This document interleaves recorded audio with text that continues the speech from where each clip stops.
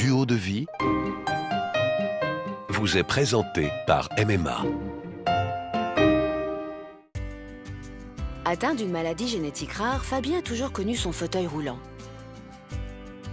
Bien qu'autonome dans ses déplacements, il n'avait plus depuis quelque temps envie de sortir ni de faire du sport. L'arrivée de Flag, son premier chien d'assistance, a mis fin à cette période dépressive. Transformé par une vague d'énergie, Fabien a retrouvé la joie de vivre. Chaque semaine, il amène son chien courir avec lui sur la piste du stade. Une complicité qui fait plaisir à voir. Qui franchira la ligne d'arrivée en premier? Et après l'effort vient l'heure du réconfort. Avec Flag, une chose est sûre. Fabien n'aura plus jamais le temps de s'ennuyer. C'était Duo de vie avec MMA.